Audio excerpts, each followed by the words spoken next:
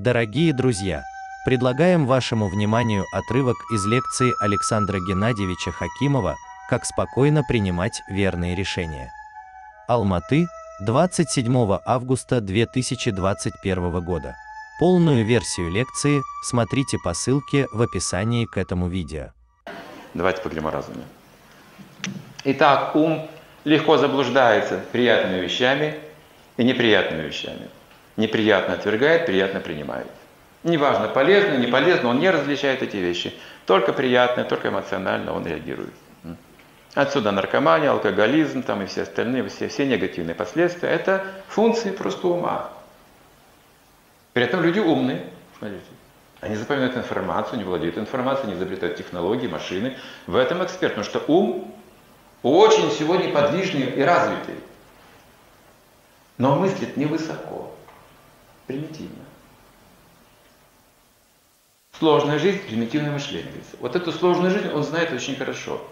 А уровень очень низкий, всего лишь платформа чувств. Одинаковая с платформой биологической животных. Смотрите, вот можно так жизнь прожить на уровне биологического уровня сознания. И там какая любовь? Биологическая. Сегодня уже секс и любовь как бы объединили понятия практически. Серьезная ошибка нашей цивилизации. Самая серьезная ошибка вот в этом заключается, что любовь и секс объединяют практически в одно понятие. Если сексуальная жизнь как-то не складывается у людей, они разводятся. Я, знаете, это где прочитал? В Пуранах, в предсказаниях нашего времени. Что в наше время описывается в Пуранах, 11 песня Бхагавата. Брак будет фантасмагорией, будет строиться исключительно на сексуальном привлечении. Все. Остальные ценности люди забудут. Это просто умственная, эмоциональная платформа, обманчивая. Да, именно. Как? Они говорят, люблю. Любим друг друга. Хотим быть вместе. Через полгода начинают оскорблять друг друга уже. Как это получается? Это была любовь. Почему через полгода уже начинаются оскорбления, уже начинают какие-то недовольства, уже какие-то плохие эмоции появляются, слова, отношения, раздражение. Почему так происходит? Нет разума. Не видят друг друга. Глубже, чем приятно, неприятно. Пока ты мне приятно, я хотел на тебе жениться. Ты мне было тогда приятно, дорога, красиво, молода ты так вот себя вела, и я влюбился. А сейчас посмотри на себя, что ты делаешь, как ты выглядишь, как ты со мной общаешься. Сейчас неприятно мне с тобой общаться, понимаешь, ты меня раздражаешь.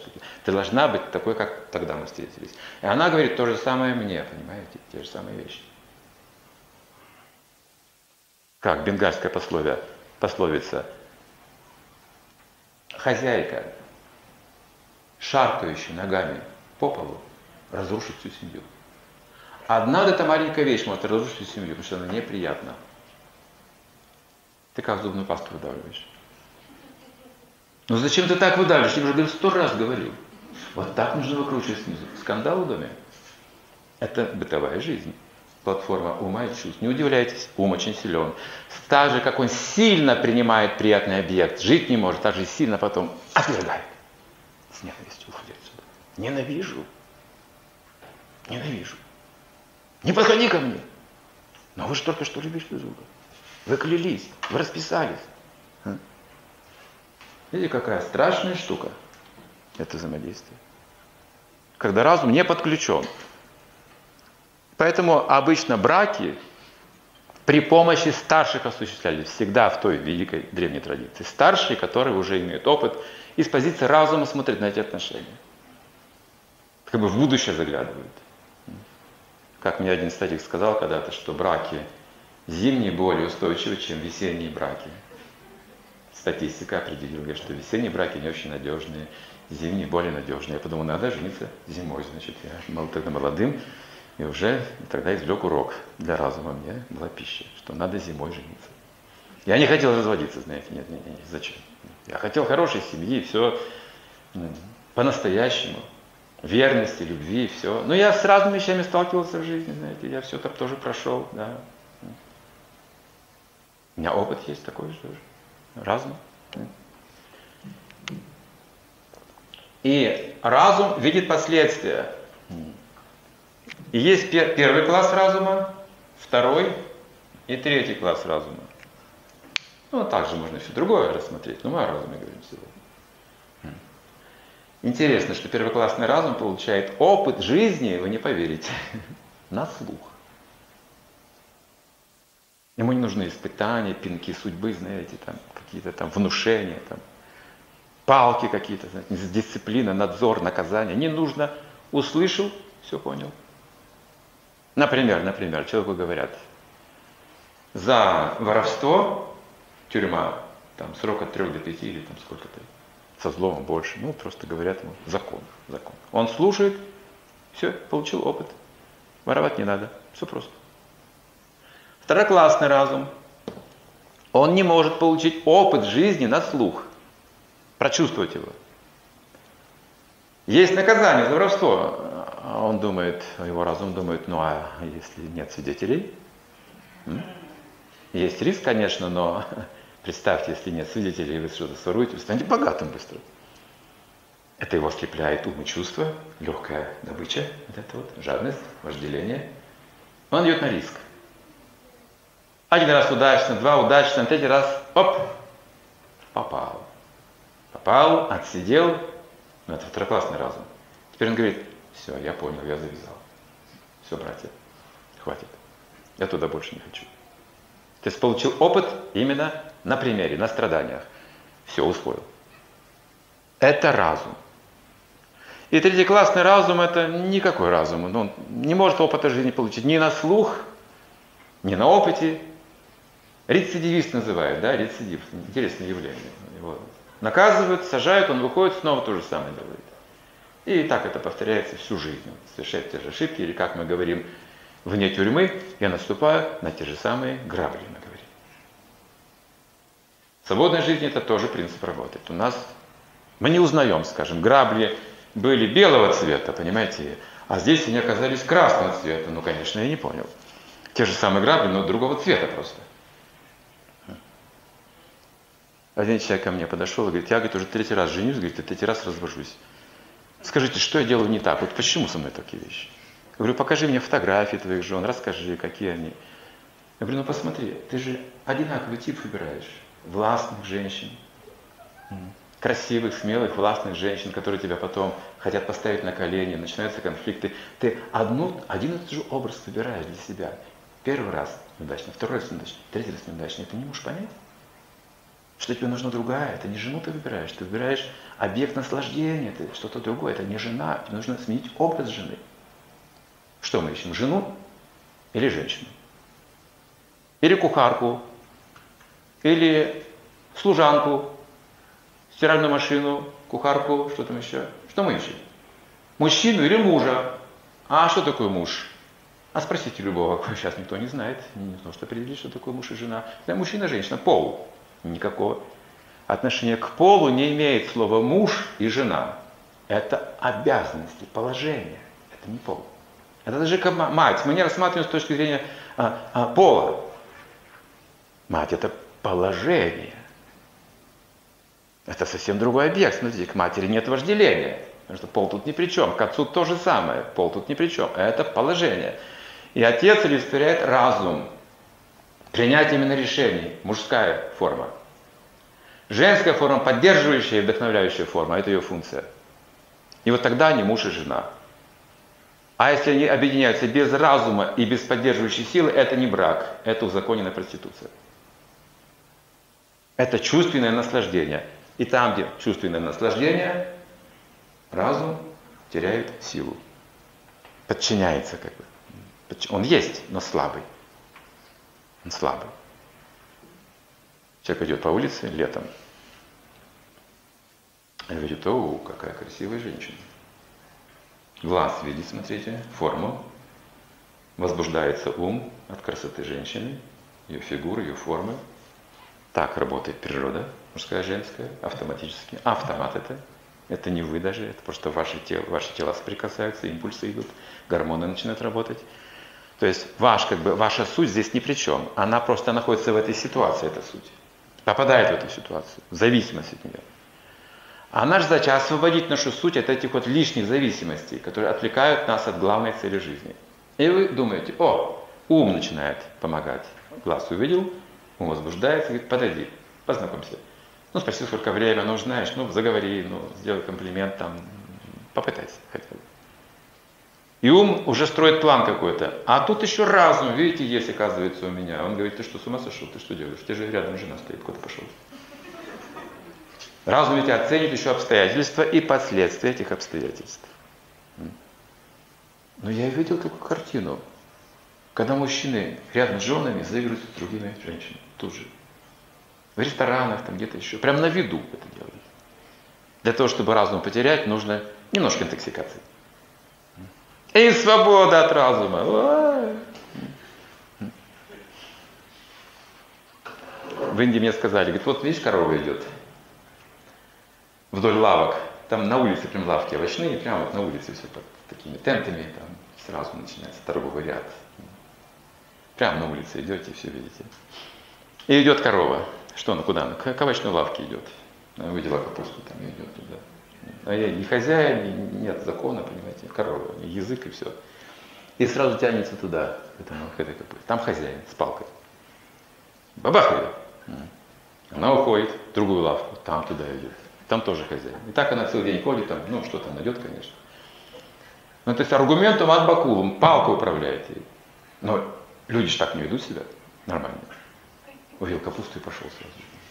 Он понимает, надо заплатить, там, надо, надо как-то там есть владелец, но ну, разум-то есть у него, нет? У коровы нет разума, понятно, она не видно, но в конце концов дай что-то, пусть успокоится, хорошо. Или вот нищий тоже, что такое нищий? Уже разум потерявший человек. Он не может заработать деньги, не может устроиться в жизни. Разум. Энтузиазм – это тоже разум. Вера, надежда, любовь – это тоже разум. Это все можно потерять. Смотрите, можно остаться без ничего, бездыханным можно жить, как мертвое существо, неспособным к какой-то деятельности, какой-то цели, понимаете, потерять можно энтузиазм и веру в жизнь вообще. Это все функции разума. Это главная наша сила. Главная удача заключается именно в этих энергиях. Вера, надежда, любовь и знания нужны. Чтобы не совершать этих ошибок и не разочаровываться. И в самих ведических книгах говорится, что чувства контролируются умом, направляются, ум контролируется разумом, а разум чем контролируется? И они говорят. Шастры. Шастра – это интересное слово. Это оружие для ума, говорится. Разум использует оружие, чтобы контролировать ум, знание. Ты что, сумасшедший, он говорит? Зачем ты ходишь, хочешь принять ЛСД? Ты видишь последствия какие? Ты слышал об этом? Ты сумасшедший, нет? Если он сильный, достаточно только одного импульса. Стоп! И все. Вы. Разум? Воля? Или хорошо, уже перешагнули черту. И вот тут нужна помощь еще разумных людей, там, врачей, там, и собственное сильное желание. Тоже можно преодолеть. Любую проблему можно преодолеть. Если человек получит более высокий вкус, чем наркотик, чем алкоголь, чем сексуальное наслаждение. А есть такое, вот в том-то дело. Это называется шастра. Что это за оружие? Это мощный духовный вкус превышающий опыт чувств и ума.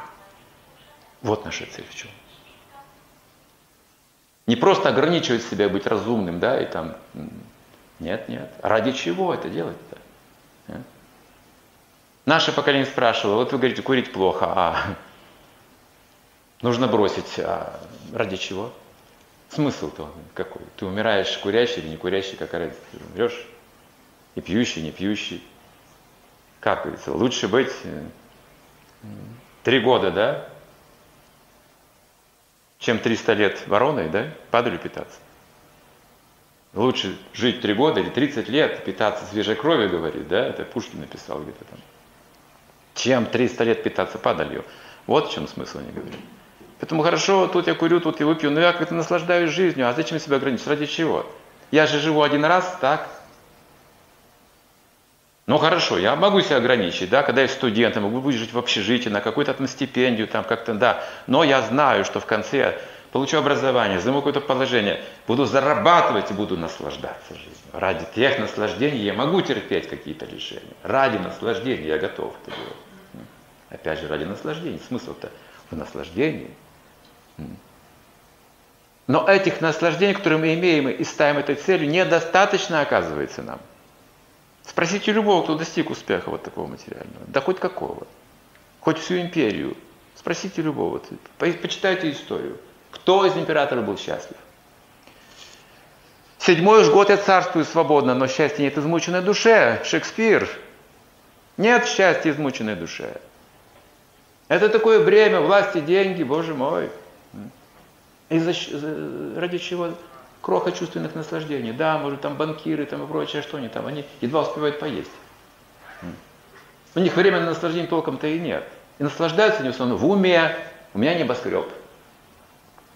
Но ты же не живешь во всем небоскребе одновременно. Ты в каком-то уголке сидишь и все.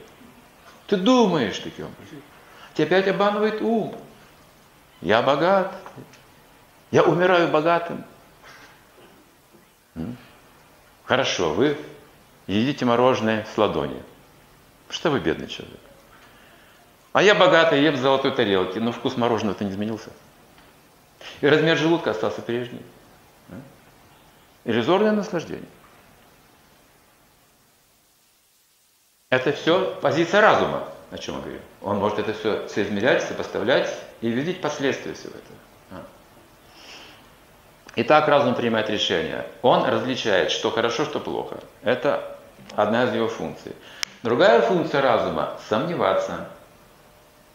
Вы говорите, есть шастра, освобождающая нас от каких-то вот, ну, чувственных наслаждений, дающих высокий вкус, более высокий вкус, так? Самадхи вы говорите, там транс какой-то, экстаз, может быть, там как его назвать. Я сомневаюсь. Не было у меня такого опыта. Есть сомнения, естественно, есть сомнения, раз опыта не было. Это разум. И если я просто слепо принимаю, это отсутствие разума. Или слепо отвергаю, тоже отсутствие разума. Разум сомневается для того, чтобы исследовать.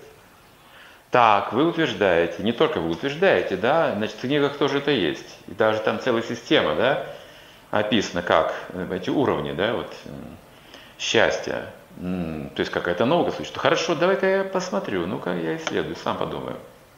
Это разум. И когда он уже получил все необходимые аргументы, следующая функция разума делает окончательный вывод. Именно он. Окончательный, то есть без колебаний. Явас, Ятмика, Бутир, Экехакуру, Нандана. Одна цель остается у него. Вот тут вы уже могущественный человек. Многоветвист разум тех, кто нерешительно говорится – вы ничего не достигаете, оставаясь на уровне сомнений. Сомневаясь, что душа несчастлива не в этом мире, не в следующем, говорится в ведах. Вы должны найти цель, сделать выводы непоколебимо. И вы достигаете. Вот и все.